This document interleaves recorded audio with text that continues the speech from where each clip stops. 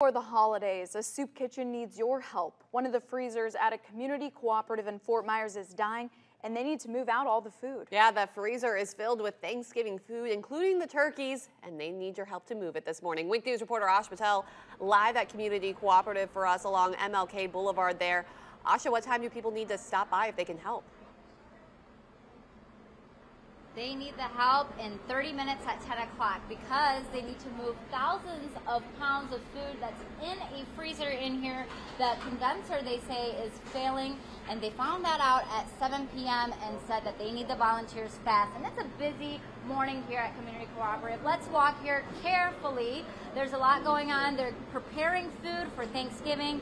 There's broccoli and veggies in here, chicken, and there are several volunteers already here, but they are going to be moving thousands of pounds of food starting at 10 o'clock. And look what we have here. We have the mayor this morning chopping up some tomatoes, Mayor Kevin Anderson. Why are you doing this this year?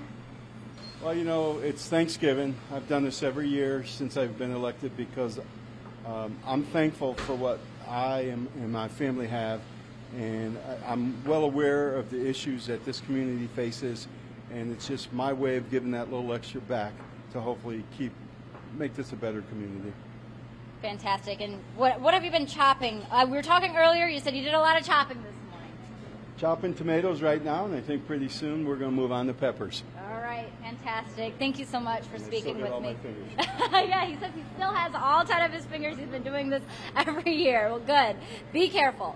Now, again, they are calling for volunteers at 10 this morning to move thousands of pounds of food that's going to be served for Thanksgiving. So this is going to be at Community Cooperative. I'm live in Lee County. Asha Patel,